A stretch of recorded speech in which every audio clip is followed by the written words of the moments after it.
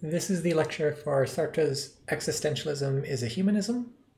Like the de Beauvoir lecture, you don't have to watch this ever. You don't have to watch this before you do the reading. This is an optional lecture. I'm just going to talk about some stuff uh, in the reading. This also is not going to talk about anything in the first reading assignment. This is all stuff that shows up in the second reading assignment. So, great. Um, and basically, I'm going to talk about three objections that people make to the existentialists and what Sartre's response to them are. So all of these objections stem from the sort of central worry, which is that existentialism is just entirely subjective uh, because everything depends on us, because morality depends entirely on us. Uh, sort of there's something wrong here. And so he talks about sort of three versions of this criticism. So he says the most common instance is when people tell us, so you can do whatever you'd like. So this is objection number one. Ethics is subjective, so I can just do whatever I want. Another way of putting it is they tax us with anarchy, then they say you cannot judge others, for there is no reason to prefer one project to another. So the thought is, look, everything's subjective, so nobody's choices are better than anybody else's choices. Everybody's choices are equal. How can you judge somebody else? Finally, they say, since all your choices are arbitrary, you receive into one hand what you grant with the other.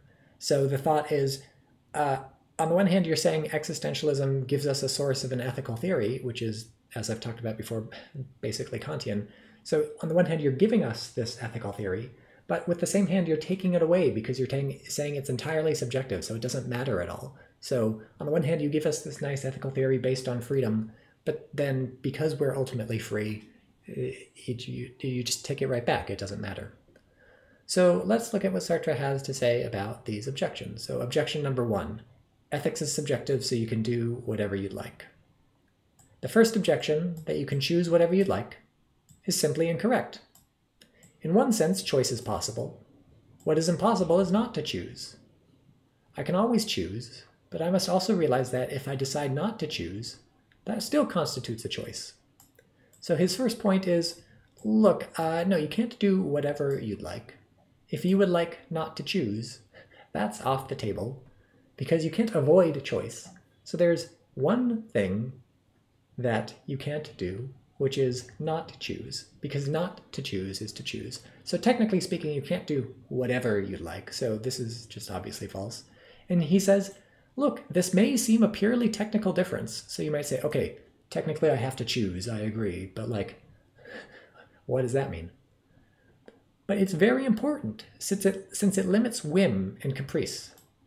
Although it is true that in confronting any real situation, for example, that I'm capable of having sexual intercourse with a member of the opposite sex and of having children, I am obliged to choose an attitude towards the situation. And in any case, I bear the responsibility of a choice that, in committing myself, also commits humanity as a whole. So he says, look, it's not a purely technical point to say you must choose, because remember what it means to say you have to choose.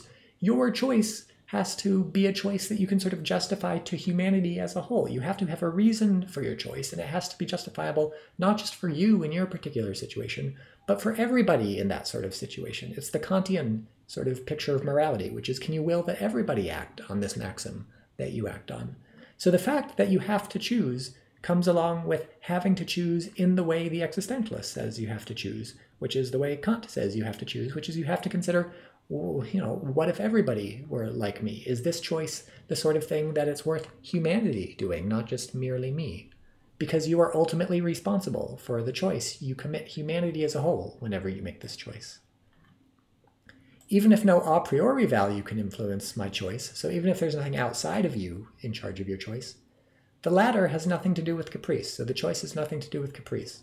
So the thought is, look, it's true that there's no outside influences, but merely the fact of it being a free choice that depends on you, that comes along with its own constraints. So this was the sort of the magic of Kant's answer that we saw back when we studied Kant, which is if there's no outside uh, heteronomy that controls you, if you have to be autonomous, if you have to make an autonomous choice, what could possibly govern your choice? Can't you just choose anything? No, what could govern your choice is something that could serve as a law for any free choice, and that is something, a maxim that could be universalized. So he thinks merely having to make a choice uh, brings along with it morality, even though it's coming from inside of you, inside of from, from having to make a choice, uh, not from external circumstances, but entirely your subjectivity. So, since man finds himself in a complex social situation in which he's committed, and by his choices commits all of mankind, and he cannot avoid choosing, therefore we get sort of moral restrictions. So he will choose to abstain from sex, or marry without having children, or marry and have children. Whatever he does, he cannot avoid bearing full responsibility for his situation. He must choose without reference to any pre established values. But it would be unfair to tax him with capriciousness. Rather, let us say that moral choice is like constructing a work of art. So the thought is look, there are no rules when it comes to painting a painting or doing a sculpture. Nobody can tell you how you're supposed to do it. That's not how art works. It's entirely up to you. But that doesn't mean that any sort of thing you do to the painting, any brush stroke is just as good as any other brush stroke, any hit with the chisel is just as good as any other chisel. The fact that you are creating this painting, the fact that you are in charge of what happens to this painting, it gives you the responsibility for each brush stroke to have some reason to make that brush stroke, to make a good brush stroke, not in some sort of uh, external sense of good. It's not like there's some rules out there that tell you what a good painting is, but you're the one who's coming up with this painting. You have to create a good painting. The good painting can't come from just following a set of rules. It's up to you to make a good painting. And so he goes into this by talking about we don't want to make a mistake by thinking like morality just is making a good painting. So it's not like literally morality is aesthetic. Uh, this is just an analogy. But what art and morality have in common is creation and invention. We cannot declare and decide a priori what ought to be done. Uh, I believe that blah blah blah. Um, whether you follow like some Kantian moral system or whatever, uh, it's up to you to choose that system. The system itself can't decide for you. Uh, you're obliged to invent your own laws, is how he puts it. So man makes himself. He doesn't come into the world fully made. He makes himself by choosing his own morality, and his circumstances are such that he has no option other than to choose a morality. So you have to choose, and this means you can't do whatever you'd like. The fact of being in a certain situation means when you choose, you commit the rest of mankind, and you must choose based on reasons that you think are justified to the rest of mankind. So that's his response to the first objection. Second objection. In the second place, people tell us you cannot judge others. What does he say about this? In one sense, this is true, and in another, not. So, you know, yes and no. It is true in the sense that whenever a man chooses his commitment and his project in a totally sincere and lucid way, it is impossible for him to prefer another. So, one way in which you can't judge others is that, look, uh, it, once somebody commits themselves to something, that makes them who they are. And at that point, they can't change who they are. There's nothing like if I kill somebody and I'm a murderer, that, that's it. I can't go back. I can't. There's nothing I can do to not be a murderer. So once I commit to a project in a sincere and lucid way, then there's no going back. And so uh, nobody can sort of judge me in the sense of telling me, you know, you should you should be something else. You shouldn't be a murderer anymore. No, it's too late. It's impossible for me to be something else. And that's true not just for like evil stuff, but for anything let's say I'm a fully committed like Christian or communist or something. At some point, you can sort of get yourself stuck into these things so much that uh, you can't see any way out of it. Like there couldn't be a way for you out of it. And so, in that sense, nobody can sort of judge you. It's not like they can say you should be making different choices. Like, no, only some things will be possible for you because of what you've committed yourself to. So, okay, fine. It's also true that, in a sense, we don't believe in the idea of progress. Progress implies improvement, but man is always the same, confronting a situation that's forever changing, while choice always remains a choice in any situation. The moral dilemma has not changed from the days of the American Civil War, when many were forced to choose between taking sides for or against slavery, to our own time, when one is faced with a choice between the popular Republican movement and the communists. So the thought is one sense of you cannot judge others uh, is like, oh, look, you can't look at other people or other times or other cultures and say they're sort of morally backwards. They haven't sort of progressed as far as us. And the existentialist says, yeah, that kind of judgment is off the table. You can't say one society is sort of morally better than another society. The only thing that changes in society are the circumstances in which the, the situations people confront. But mor- morally speaking, the only moral judgment you can make about something is that people have a free choice to make when confronted with whatever the circumstances are. And that choice never changes. There's never progress there. You're always confronted with the choice of what to do. So the, since there's no moral progress, we can't judge in the sense of saying that society is morally better, further along, that society is sort of further back. So that kind of judgment is off the table. Situations change, but morality never changes. Morality is always the same. You always confront whatever situation you're in, and that is your choice. So morality is about making a free choice. So that's always the same. So that's the sense in which it's true, but it's also false. So nevertheless, we can pass judgment. For as I said, we choose in the presence of others, and we choose ourselves in the presence of others. So the fact that we're not like the only person in the entire world, this brings along ways of passing judgment. So how? How, how, how can we judge merely because other people exist? Well, first, we may judge, and this may be a logical rather than a value judgment, that certain choices are based on error and others on truth. So this is pretty straightforward. So if I decide to kill somebody because I think they stole from me, but they didn't actually steal from me. Of course, we can judge that sort of choice because it's based on an error, not based on truth. So that's a sort of moral judgment. We could say you shouldn't have killed that person, and we can correctly judge that I shouldn't have killed that person because I was just I was making a mistake. So that's one easy sort of moral judgment.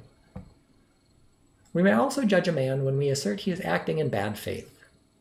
If we define man's situation as one of free choice, in which he has no recourse to excuses or outside aid, then any man who takes refuge behind his passions, any man who fabricates some deterministic theory, is operating in bad faith. So, another way you can judge people is when they say, oh no, I'm just doing what I most desire to do, or I'm doing what my desires lead me to do, or I'm determined to do what I do. You know, I have no free will, or I must do what I, you know, the situation led me to do it. I had to do it. It wasn't my choice. I wasn't free. No, no, no. That's all bad faith. That's all ignoring the central existentialist point, which is that existence precedes essence. There is nothing you are until you act, and your act is your choice. You are free to choose.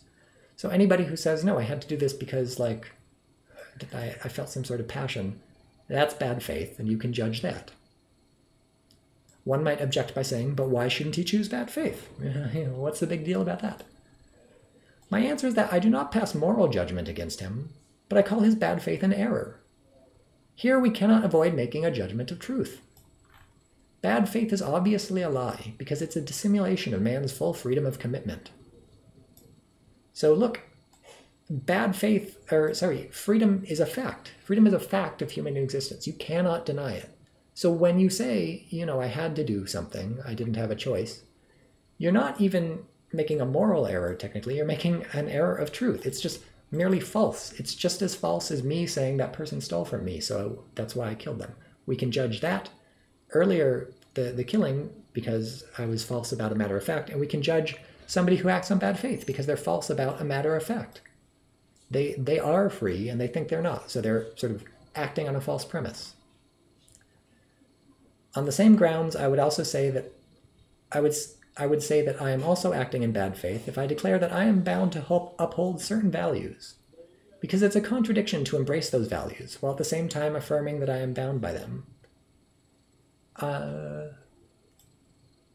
yeah, so the thought is look, you can't be bound by something in the sense of it being outside of you. The only way you can be bound by something is by freely embracing it, by choosing it. So there's no binding really going on in existentialism. The only thing we're bound by is freedom. So there's no values that you're sort of forced to follow. What's going on when you follow values is that you choose the values. So if there were some sort of bindingness, they wouldn't be your values, they would be imposed on you, and they wouldn't really be part of you. So the only way for something to be part of you is for you to freely choose it. That's the only way anything ever happens to a human. We freely choose to make it part of ourselves. If someone were to ask me, what if I want to be in bad faith? I would reply, there's no reason why you should not be, but I declare that you are, and that a strictly consistent attitude alone demonstrates good faith. So the thought is look, uh, I can't stop you, like, I can't get you not to be in bad faith, but if you were going to be consistent, uh, you would be in good faith. If you wanted to sort of act on the basis of truth, you would be in good faith. And so, if this sounds a bit like Kant, who said, uh, "Look, we are you. You cannot but act. You cannot but see yourself as free. When you when you act, you always must see yourself as free, and there's just no choice there." I mean, yeah, it's basically the same idea. If you think you're not free, if you act in bad faith, you're sort of committing an error. It's it's just you don't understand how human beings work. You're mistaking the nature of human existence. So, what is more, I am able to bring a moral judgment to bear against the person acting in bad faith. So, forget all this rational stuff about a judgment of truth. There's also a moral judgment we can make. When I affirm that freedom under any concrete circumstances can have no other aim than itself, and once a man realizes in his state of abandonment that it is he who imposes values, he can will but one thing freedom is the foundation of all values. So, by the way, whether or not bad faith is a sort of error about truth, it's a moral error too, because freedom has to be the foundation of all values. Freedom has to be the source of all morality. And if you act in bad faith, you deny freedom, and so you do not deny all of morality. So we can make a moral judgment against you. So, just like Kant, uh, freedom comes from, or morality comes from freedom. Morality and freedom are the same thing. And so acting immorally is to act as if you're not free, and acting as if you're not free is to act as if you are immoral, is to act immorally. Because human freedom is the source of all values. But here's where we get the division from Kant. That does not mean that he wills it in the abstract, so willing freedom. It simply means that the ultimate significance of the actions of men of good faith is the quest of freedom in itself. So uh, it's not that freedom in the abstract is really the source of morality. It's that uh, sort of the quest of freedom in itself in actual circumstances is the source of morality. So what does this look like in, concretely? A man who joins a communist or revolutionary group wills certain concrete aims that imply an abstract will to freedom. Yet that freedom must always be exercised in a concrete manner, we will freedom for freedom's sake through our individual circumstances, and thus in willing freedom, we discover that it depends entirely on the freedom of others, and that the freedom of others depends on our own. Uh, so the thought is, what is, why does this freedom matter? Like, why, why do I have to will freedom for everybody? Not for some abstract reason, but because every project you will, every sort of concrete thing you try to do, depends on other people being free, depends on the freedom of others. So you need other people to join you in your communist or revolutionary project in order for it to succeed. So when you will communism or when you will the revolution, you must will the choices of others too. So you sort of have to universalize in the sense that you have to will that others join you in what's going on in order to sort of rationally commit yourself to anything. You can't rationally commit yourself to communism or some revolution or something unless you rationally commit others as well. As he puts it, you are obliged to will the freedom of others at the same time as you will your own. You can't set your freedom as a goal without also setting the freedom of others as a goal. So, when operating on the level of complete authenticity, I've acknowledged that existence precedes essence and that man is a free being who, under any circumstances, can only ever will freedom. I have at the same time acknowledged that I must will the freedom of others. Kant states that freedom wills itself and the freedom of others. Agreed. But he believes that the formal and the universal are adequate to constitute a morality. We, to the contrary, believe that principles are too that are too abstract fail to define action. So the thought is, you know, Kant is correct but far too limited. Kant is correct about freedom and the fact that freedom wills the freedom of others, but what you need is a sort of concrete version of that in your life. So you can't just will freedom in the abstract and freedom for others in the abstract. You need to will some version of that. So, you know, communism or revolution or there's there's a million ways to live. But so Kant is kind of empty. Uh, we can't get anything out of Kant just from freedom on its own. What we need is some sort of life that we're living in freedom and with other free people. That's the only basis for any kind of system to live as. some sort of moral system.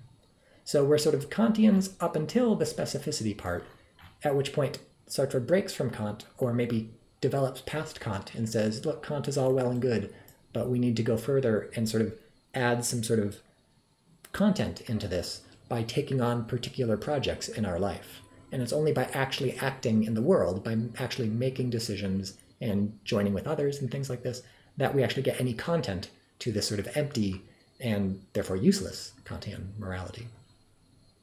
So that's the response. There's no reason to do one thing rather than another. His response is, well, or sorry, there, there, that's the response to uh, you can't judge people. And the answer is, well, in some sense, that's true, but also we can we can judge people. You know, there is a basis for morality. Third objection. You receive into one hand what you grant with others. And that means at bottom, our values need not be taken very seriously, since we choose them ourselves. So why should I care about your existentialist morality? You're just making it up yourself. In response, I can say that I very much regret it should be so. But if I have eliminated God, the Father, there must be someone to invent values. Things must be accepted as they are. What is more, to say that we invent values means neither more nor less than this. Life has no meaning a priori. Life itself is nothing until it's lived. It is we who give it meaning, and value is nothing more than the meaning we give it. So, yep, like, it's a, you know, this is too bad. Like, it's too bad there's not something else above us that sort of gives us meaning, that sort of decides for ourselves what uh, decides for us what our life is going to be but you know some somebody has to do it nobody's going to do it for us and it's got to be us so uh, you know it's possible to create a human community so it's not like we have it's not like there's nothing we can do it's not like we have to sort of just live with like amorality and just people killing each other left and right like you don't have to do that. You don't have to do anything, in fact. That's the point of the existentialist view. Nothing is set in stone, it's up to us. So, look, you know, what kind of life do you want to live? What kind of uh, community do you want to live in? So, is there are there any rules? No, but uh, that's that's life.